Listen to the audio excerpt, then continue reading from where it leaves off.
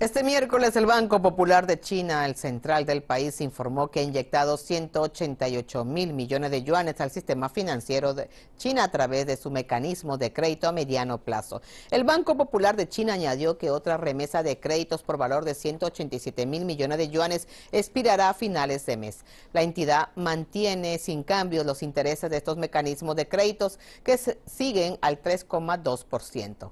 Los analistas predicen que el Banco Central inyectará más fondos al sistema mediante sus operaciones de reventa a 28 días y el empleo de su servicio de liquidez temporal con vistas al Año Nuevo Lunar de China en 2018.